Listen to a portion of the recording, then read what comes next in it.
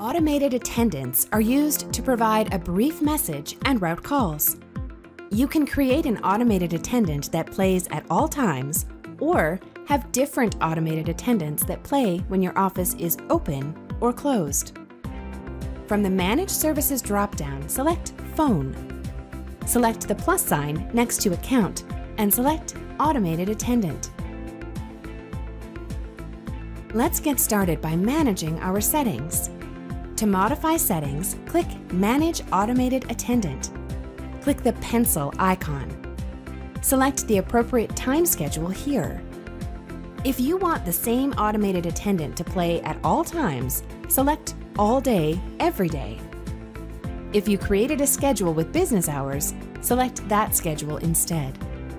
For example, you might have created a schedule to cover Monday through Thursday, 9 a.m. to 5 p.m., and labeled it Business Hours. If you created a holiday schedule, then select it here.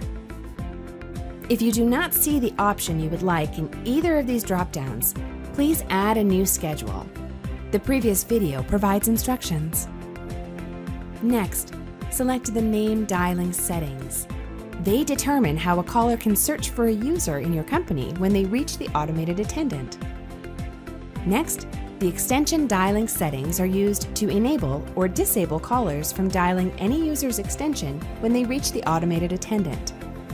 Click on the green checkmark to save changes. Automated Attendant Keypad Menu and Greeting.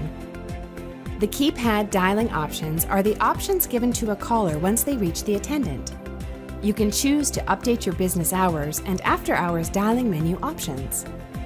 The business hours automated attendant will play when your business is open. The after hours automated attendant will work when your business is closed. Let's start with the business hours automated attendant. Select Update Business Hours Automated Attendant. To add a new option, select Add New Key. You do not need to use all of the keypad options given. Next, define the routing action. Click What's This to read the available routing actions. I'm going to select Transfer without prompt. Next, enter the phone number you'd like this keypad option to dial. In this example, I'd like to add Mateo, who is in our sales department. But I could also add any 10-digit phone number here, even if it was not a Comcast phone number. My next keypad option is going to allow the user to go directly to a voicemail box. I'm going to select Transfer without prompt again. Then, I'm going to add star 55, followed by the last four digits of the automated attendant. Now, when the caller dials this option, they can leave a message in the automated attendant's voicemail box. Click the Save and Continue button when complete. Next, you can record or upload a greeting and instructions. We recommend that you include a brief message, then verbally describe each keypad option for the caller. For example, Welcome to our company. Press 1 to reach sales. Press 2 to reach marketing. Press 3 to leave a voicemail.